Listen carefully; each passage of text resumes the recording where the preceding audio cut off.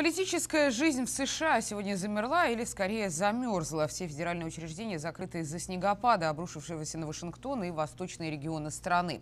Природные капризы даже испортили первый день работы новому министру обороны США Эштону Картеру. Тем не менее, он сегодня принес присягу и заявил о своих планах на новом посту. Обо всем по порядку наш вашингтонский корреспондент Роман Мамонов. В американской столице сегодня, как говорится в русской поговорке, хороший хозяин собаку на улицу не выгонит. Город засыпало снегом, федеральные ведомства закрыты. Пока одни радуются дополнительному выходному, новому министра обороны капризы стихий испортили торжественность первого рабочего дня.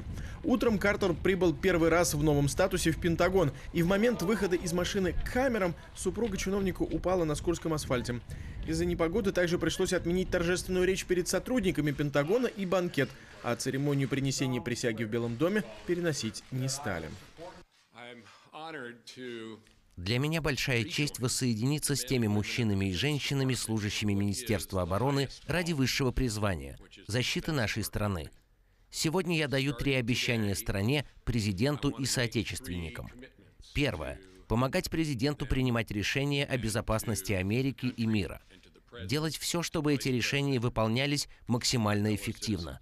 И учитывая новые вызовы, с которыми мы сталкиваемся, я обещаю делать все, чтобы эта великая страна использовала все свои возможности для лидерства. Журналист за кадром попытался было задать вопрос про Украину, но Картер не стал отвечать. Впрочем, и так понятно, для нового министра это будет одна из главных задач.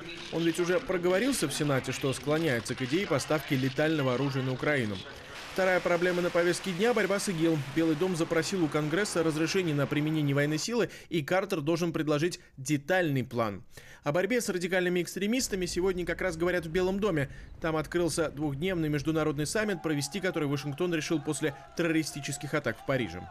Правда, оппоненты Обамы уже раскритиковали формат и идею саммита. Мол, что можно решить за пару дней кабинетных разговоров. А главное, критики-республиканцы недовольны тем, что в повестке на саммите не говорится о религиозном экстремизме и исламском государстве как его главном символе. В Белом доме на это ответили, что не делят террористов по религиозному признаку.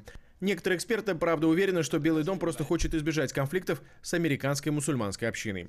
Роман Мамонов, Анатолий Кошенко, Вашингтонское бюро RTVI.